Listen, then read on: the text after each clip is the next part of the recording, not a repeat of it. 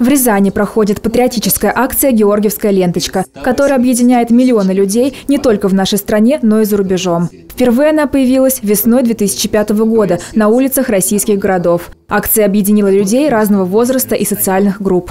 Я предлагаю вам, ребята, быть внимательными. Именно действительно, как сказали здесь, враг, ежок поднимает голову. Мы должны беречь, быть, мы должны активно защищать нашу Родину.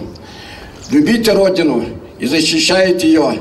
Защищайте так, все как защищаете сегодня, завтра, всегда. А День Победы сохраним на века.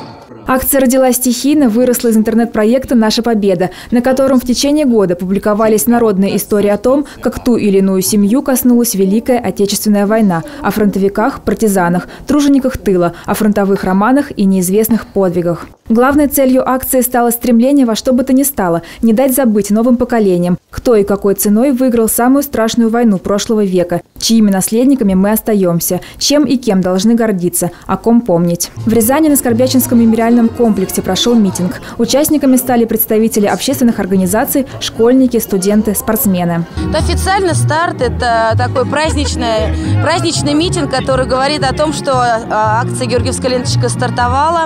Она сегодня по всей России стартует. Именно поэтому она является знаковой, потому что молодежь и, в принципе, вся страна сегодня понимает, что официальная такая подготовка к 9 мая, к 70-летию Победы. Отношу его не только ближе к Дню Победы, а большую часть э, всего времени она на сумке висит.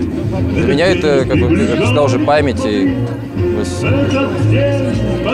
хвала тем героям, которые клали свои головы, жизни и дали жизнь всем нам, всему миру. Георгиевская ленточка является репликой традиционной георгиевской ленты. Ее черно-оранжевые цвета стали символом военной доблести и славы России.